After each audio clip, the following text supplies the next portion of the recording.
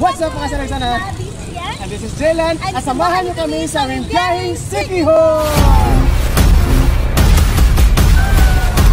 Welcome to Sikiho!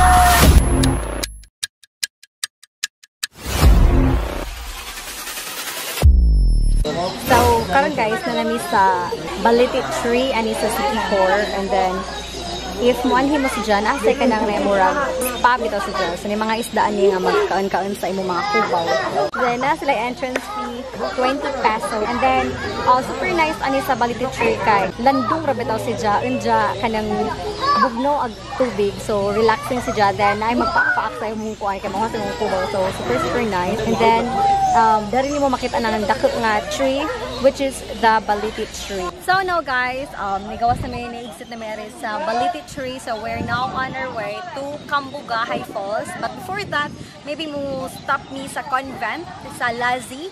Yeah, so let's just see and then uh, samahan niyo pa rin kami sa aming travel dito sa city.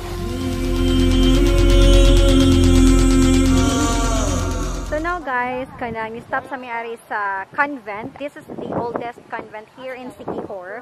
So before we maadto sa Kambugahay Falls, as you can see, um, still okay hapon ilang convent. And this convent is just in front of their church. So that's their church, guys.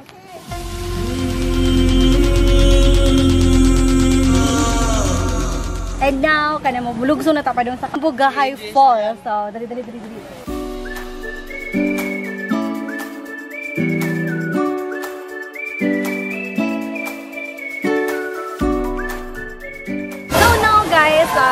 Karon sa Kambugahay Falls. So super nice di kadyo ang water. So labi dito sa kananay ligo-liguan. But I don't know if maligo ko kay murag mahadlo ko gamay. Kay laom. But let's just see guys and enjoy this falls.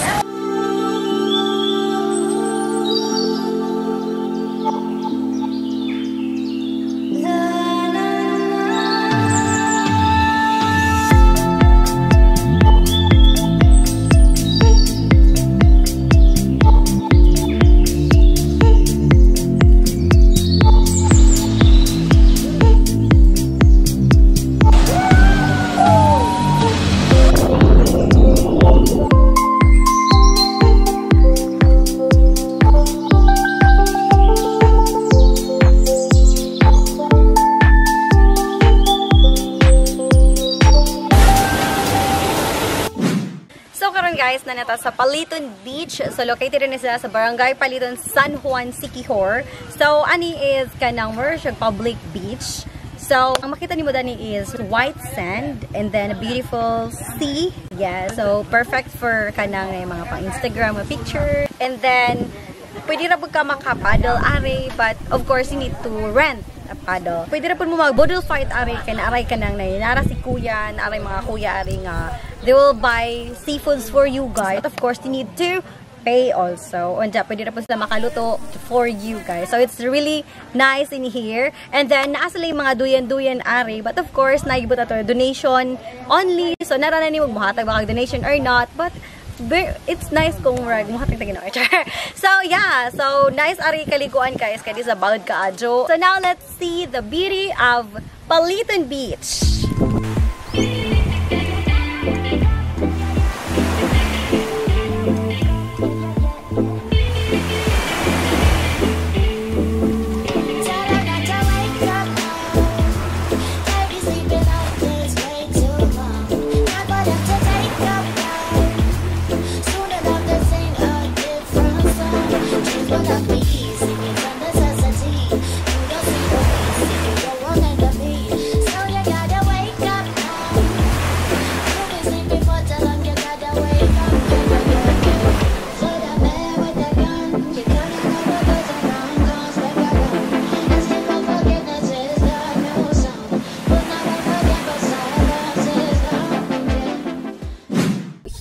Paliton Beach, kanang pwede rin ka ma-request nilang kuya. Pero, you need to pay, of course, na magpalit og mga seafoods or sila magbagdungag and then sila na pa yung mag-prepare sa yung boodle fights.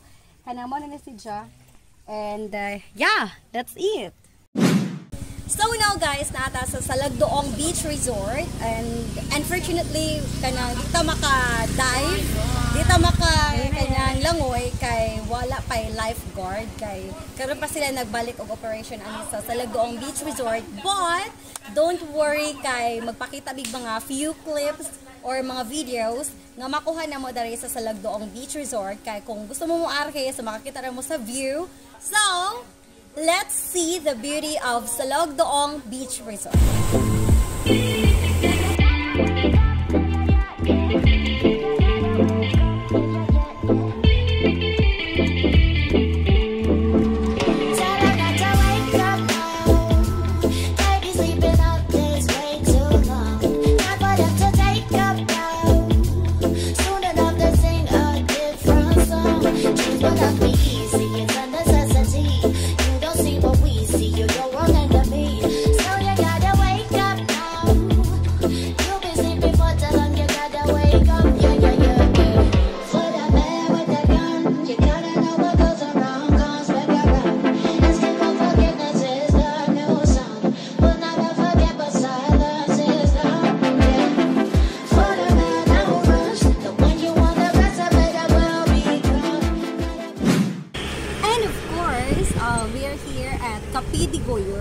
One of the best uh, resto and cafe here in Sikihor. So I do love coffee, so I will try their coffee here. And if you like coffee like me, or if you want to chill and relax with your iced coffee or hot coffee, so you may uh, visit uh, Kapi Goyod or Tauhai. This is just along the highway, so it's easy for you to locate this place. So let's go guys and uh, let's try their cold coffee because it's hot or sunny day now. So let's try their iced coffee.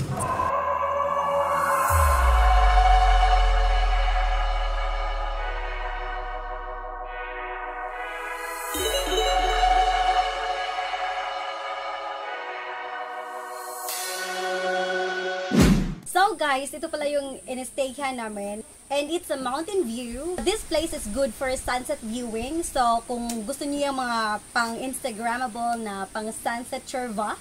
So may pool po doon. So, pwede kayong mag-chill and relax and uh, you can uh, drink something also because they have a bar here and they have a uh, delicious food. Yes! So you must try it mga sanang because it's really really good. I'll recommend you that one. So it's like a Bali style mga sanang This um, resort is just located in San Juan, Siquijor. Um, 900 meters from the National Road para mukat-kat mari sa Nakabalo Guest House.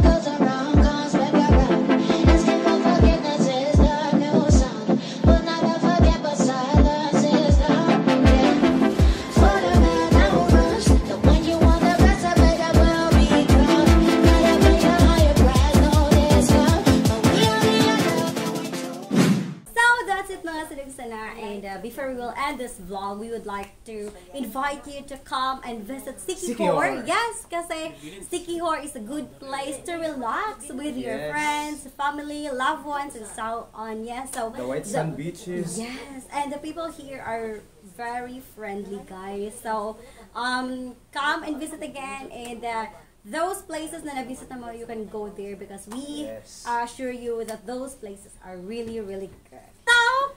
That's all for today mga sanagsana. So we hope na nag-enjoy kayo sa biyaheng Sikihor. Sikihor, yes! And before we will end this vlog, please follow and subscribe our other social media accounts like TikTok, Yan and Channel Vlogs, Facebook page, Yan and Channel Vlogs, and Instagram, Yan and Channel Vlogs. And see you on our next, next adventure. adventure.